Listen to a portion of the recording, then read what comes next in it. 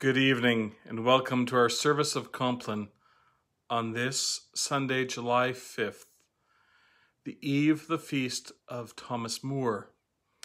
I noticed on a Facebook post from a few, few years back that uh, I described Thomas More as it's complicated. And as Anglicans, it's complicated. Uh, he did much for the church and yet was martyred um, as as uh, in the turbulent times of the Reformation, and so we do remember him for the good works that he did, and for um, one part of the church. He is a saint, and within the Anglican world we see him uh, as a uh, a devout follower of Jesus, and so we will uh, have readings and, and reflections based on that tonight. Uh, as it is Sunday, it is the day I normally share a book with you show you something I've been reading, and I've sort of done a quick rip through this book today.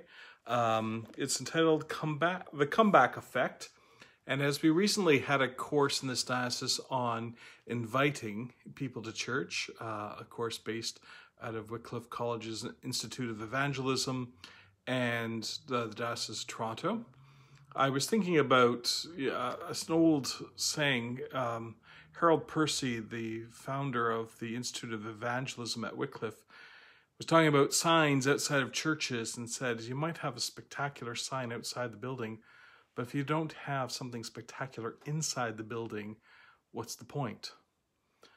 And it got me thinking about how now, as part of our protocols, we get everyone's information when they come to church because in a month's time, if we have to track them down due to a COVID outbreak, we can be in touch with them. Uh, and that's an important part of the process. We see how there's suddenly, after a month of no cases in PEI, there's now five cases uh, there. So we keep this, we have this information, we gather it. And what a wonderful thing we can do to use this information to be in touch with people, to, to follow up, and while we can't use some of our traditional ways to build community, we can use some alternate ways. And so I'm using this book as a reflection on that. So it's The Comeback Effect by Jason Young and Jonathan Malm, uh, which I'm sure is a IKEA furniture piece. Um, and I recommend it. I'll put it in the notes afterwards. I invite you to. Uh, I'm David Lehrle, by the way, Bishop of Caledonia, and I am on the traditional and unceded territory of the Tsimshian people, for which I am most grateful. I invite you to join us in our time of prayer using the Book of Common Prayer on page 722. And as we are in God's presence, I invite you to take a moment to be still as we come to pray.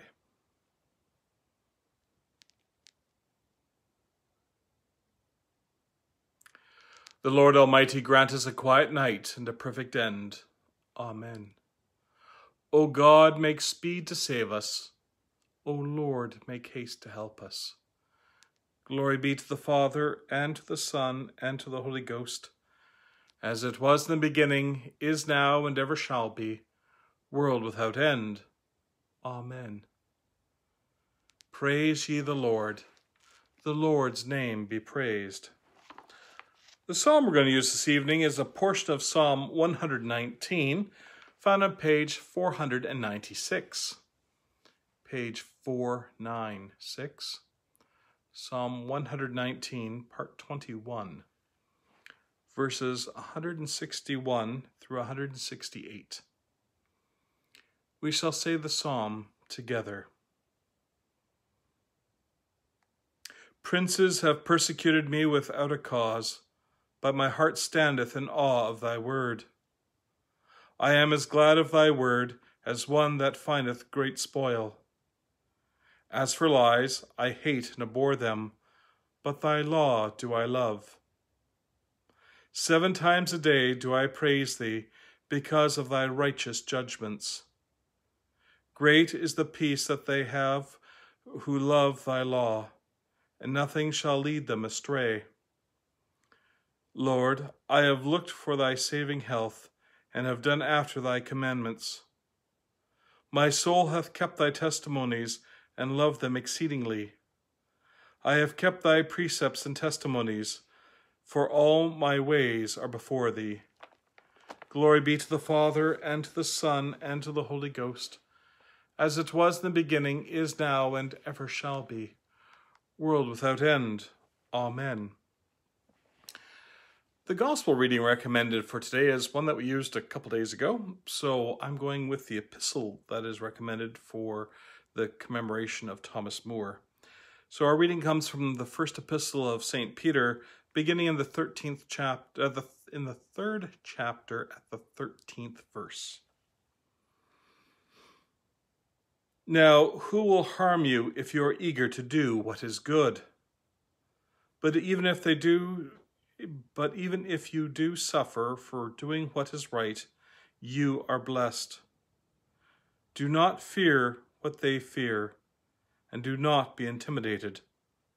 But in your hearts sanctify Christ as Lord. Always be ready to make your defense to anyone who demands from you an accounting for the hope that is in you. Yet do it with gentleness and reverence Keep your conscience clear so that when you are maligned, those who abuse you for good conduct in Christ may be put to shame. For it is better to suffer for doing good, if suffering should be God's will, than to suffer for doing evil.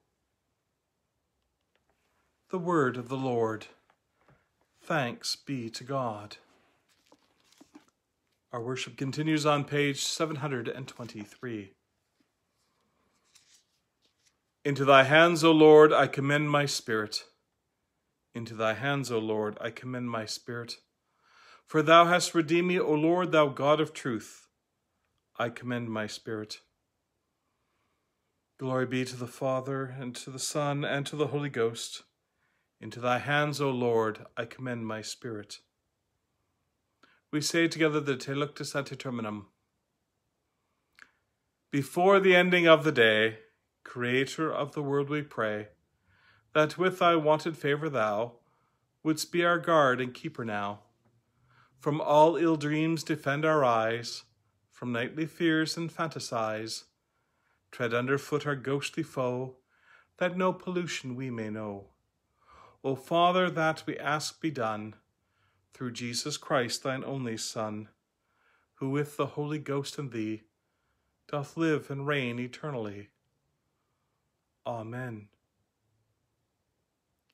Keep us as the apple of an eye, hide us under the shadow of thy wings. Preserve us, O Lord, waking, and guard us sleeping, that awake we may watch with Christ, and asleep we may rest in peace we say together the Nunc Dimittis. Lord, now lettest thou thy servant depart in peace, according to thy word. For mine eyes have seen thy salvation, which thou hast prepared before the face of all people, to be a light to lighten the Gentiles, and to be the glory of thy people Israel. Glory be to the Father, and to the Son, and to the Holy Ghost, as it was in the beginning, is now, and ever shall be, world without end. Amen. Preserve us, O Lord, waking, and guard us sleeping, that asleep we may, uh, that, uh, pardon me. Preserve us, O Lord, waking, and guard us sleeping, that awake we may watch with Christ, and asleep we may rest in peace. We say together the Apostles' Creed. I believe in God, the Father Almighty, maker of heaven and earth, and in Jesus Christ, his only Son, our Lord, who was conceived by the Holy Ghost, born of the Virgin Mary, suffered under Pontius Pilate, was crucified, dead, and buried. He descended into hell. The third day he rose again from the dead. He ascended into heaven, and sitteth on the right hand of God the Father Almighty. From thence he shall come to judge the quick and the dead. I believe in the Holy Ghost, the holy Catholic Church the communion of saints, the forgiveness of sins, the resurrection of the body, and the life everlasting. Amen. Let us pray. Lord, have mercy upon us. Christ, have mercy upon us. Lord, have mercy upon us. Our Father, who art in heaven, hallowed be thy name. Thy kingdom come, thy will be done on earth as it is in heaven. Give us this day our daily bread, and forgive us our trespasses, as we forgive them that trespass against us and lead us not into temptation, but deliver us from evil. Amen. Blessed art thou, Lord God of our ancestors, to be praised and glorified above all forever. Let us bless the Father, the Son, and the Holy Ghost. Let us praise him and magnify him forever. Blessed art thou, O Lord, in the firmament of heaven to be praised and glorified above all forever. The Almighty and most merciful Lord guard us and give us his blessing. Amen. The top of page 726, we confess our sins against God and our neighbor as we say together. We confess to God Almighty, the Father, the Son, and the Holy Ghost, that we have sinned in thought, word, and deed through our own grievous fault Wherefore we pray God to have mercy upon us. Almighty God, have mercy upon us. Forgive us all our sins and deliver us from all evil. Confirm and strengthen us in all goodness, and bring us to life everlasting. Through Jesus Christ our Lord. Amen. May the Almighty and merciful Lord grant unto you pardon and remission of all your sins, time for amendment of life, and the grace and comfort of the Holy Spirit. Amen. Wilt thou not turn again and quicken us, that thy people may rejoice in thee? O Lord, show thy mercy upon us, and grant us thy salvation. Vouchsafe, O Lord, to keep us this night without sin. O Lord, have mercy upon us, have mercy upon us. O Lord, hear our prayer, and let our cry come unto thee and the collect for commemoration of Thomas More. Almighty God, who strengthened Thomas More to be in office a king's good servant, and to be a conscience and, and but in conscience your servant first. Grant us in all our doubts and uncertainties to feel the grasp of your holy hand and to live by faith in your promise that you shall not let us be lost. Through Jesus Christ our Lord, who lives and reigns with you in the Holy Spirit, one God, now and forever. Amen. Lighten our darkness. Oh, pardon me. It is the fifth. Visit, we beseech you, Lord, this place, and drive from it all the snares of the enemy. Let thy holy angels dwell herein to preserve us in peace, and may thy blessing be upon us evermore through Jesus Christ our Lord. Amen. Look down, O Lord, from thy heavenly throne. Illuminate the darkness of this night with thy celestial brightness, and from the children of light banish the deeds of darkness, through Jesus Christ our Lord. Amen. Be present, O merciful God, and protect us through the silent hours of this night so that we who are wearied by the changes and chances of this fleeting world may repose upon thy eternal changelessness. Through Jesus Christ our Lord. Amen. And we invite you to share either aloud or in your hearts or in the comments box those prayers that you have for this night, that we may lay them before God knowing that God will hold them for us through the night. We pray this night for all who suffer from the coronavirus, those who are in hospital thinking of the new cases in PEI, uh, for those who are suffering around the world.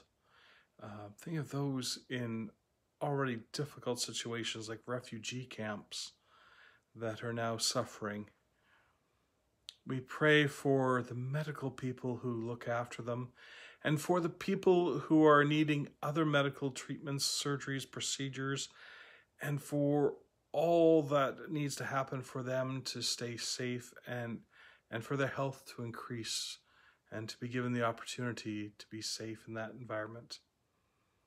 And so we pray for all those in the medical world, both as patient and as, as healer. We pray this night, and about half hour ago, the alarms went off around Calgary about tornadoes, and I saw a photo of a um, of a funnel cloud east of Calgary that a, a sibling shared with me. So we pray for those in that area with uh, that threat. We pray for those under flood warnings and evacuations in parts of uh, uh, Dawson Creek, in Prince George, and other parts of this province, for the threat of another flood in Peace River, for the flooding that's happened in Manitoba, um, and for all those who for who this creates much anxiety as well. I'm praying for people's safety and knowing, having heard of a number of drownings this week, for the families that um, are suffering that way. Pray for all who are in grief at this time. Praying for one of the people who was following us early on and whose family still follows us now and in their loss and in their bereavement at this time. We pray for all who cannot mourn in a traditional way and have uh, the public voice to their grief.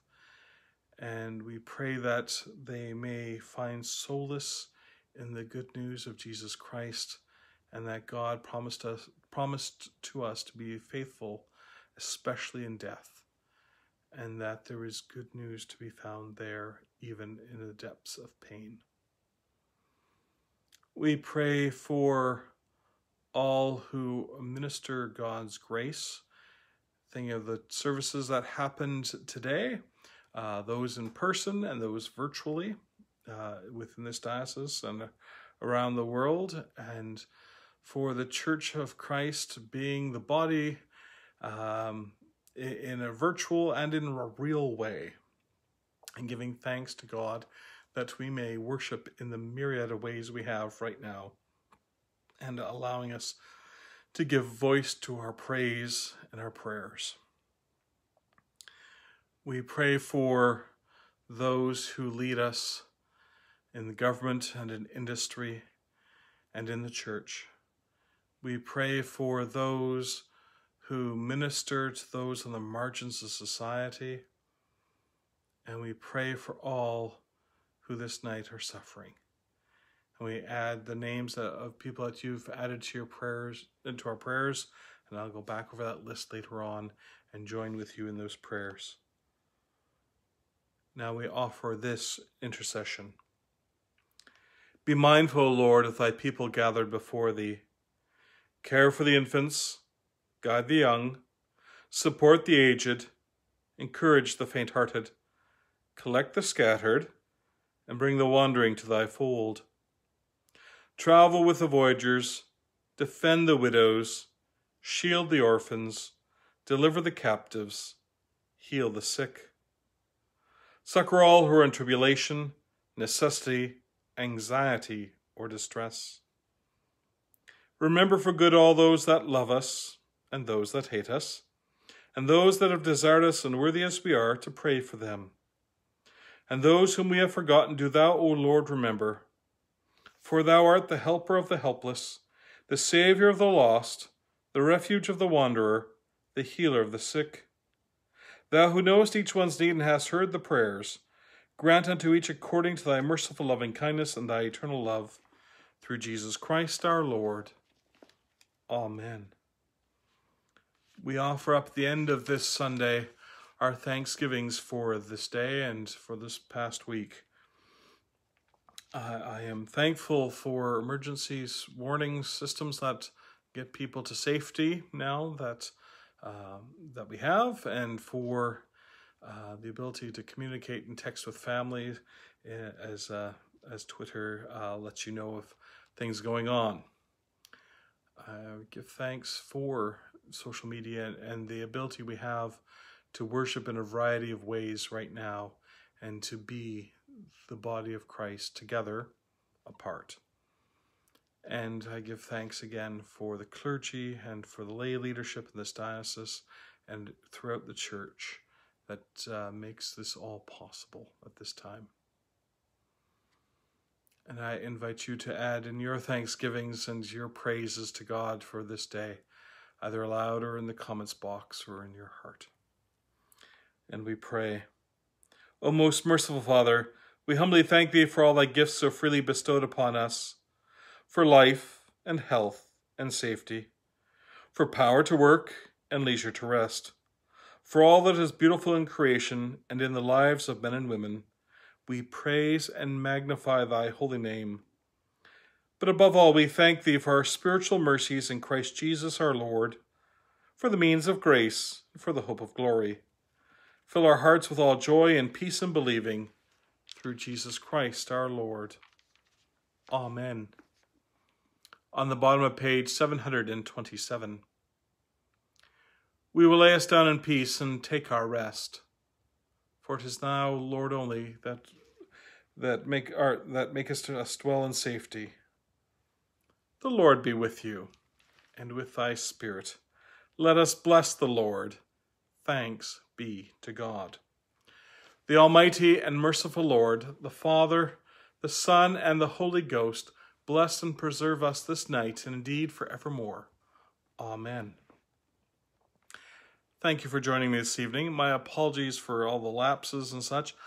Have a raging migraine going on right now, and it just doesn't want to let up. So, my apologies. I'm hoping a good night's solid sleep will correct that for me. Um, so, I, I, appreciate your prayers uh, that might help me in my sleep this night, although that's normally not a problem for me. Um, tomorrow at 8 a.m., we uh, join Pastor Don at St. Mark's in Dawson Creek for morning prayer. Uh, and you can find them on their Facebook page. During the day, from the Bulkley Valley Parish in Smithers, Father Wilfred will lead us in a devotional, and you can find that on their Facebook group. And at 12.15 from St. Andrew's Cathedral in Prince Rupert, the Dean will lead us in midday prayer and you can find that on their Facebook group as well. I will be back tomorrow evening, God willing, at 9 p.m. Uh, Pacific on Facebook, and Lord willing on Vimeo YouTube at 9.30 for, uh, to lead us in Compline again. I pray that you may have a most restful night, a good day tomorrow. Blessings, nighty night.